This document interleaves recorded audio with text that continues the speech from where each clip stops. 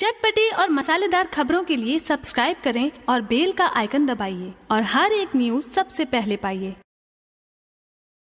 भोजपुरी गायकी के सिरमौर और यंगरी यंगमैन पवन सिंह अपनी फ़िल्म को लेके एक बार फिर से चर्चाओं में है। पवन सिंह की फ़िल्म तबादला एक बार फिर इतिहास रचने को तैयार है। इस फ़िल्म ने बिहार और झारखंड में बम्फर ओपनिंग मिली है। इस फ़िल्म ने दो दिन में ही भोजपुरिया बॉक्स ऑफ़िस पर करीब करीब पचास लाख रूपए का कारोबार कर कर एक नया रिकॉर्ड बना दिया है। इस फ़िल्म में पवन सिंह पुलिस अधिकारी की भूमिका में बदमाशों और दागी नेताओं का सफाया करते हुए नज़र आ रहे हैं। फ़िल्म में पहली बार पवन सिंह और अक्षरा सिंह का लंबी किस दर्शकों को काफ़ी पसंद आ रहा है। इसी वजह से ये जोड़ी हर सिनेमा प्रेमियों की पहली पसंद बनी हुई है। आपको बताते चले कि तबादला अपने शूटिंग के समय ही चर्चाओं में थी। फ़िल्म के लेखक राकेश त्रिपाठी, गीतकार मनोज मतलबी आज़ाद सिंह और संगीतकार छोटे बाबा हैं। आपको बताते चले कि पवन सिंह की आने वाली फ़िल्म चैलेंज प्रदर्शन के लिए तैयार है। यह फ़िल्म तेईस जून को ईद के मौके पे बिहार झारखंड में रिलीज़ किया जाएगा। इस फ़िल्म में पवन सिंह, हॉट अदाकारा, मधु शर्मा के साथ जोरदार रोमांस करते हुए नज़र आने वाले हैं।